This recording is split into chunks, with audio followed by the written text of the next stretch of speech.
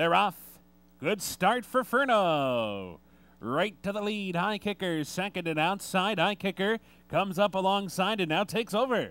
So high kicker's in front. Furno after that, Sharp start's going to battle right there to the inside. Two lengths back to Nightly Monologue, third and at the rail. Just had a Turtle Boy who's out in fourth. Bunkhouse, three wide, far turn run, fifth by five. Then it's Gutsy and five or six back to West by Gone, struggling in this early part of the race. 22 and four was the quarter. Furno's back in front now.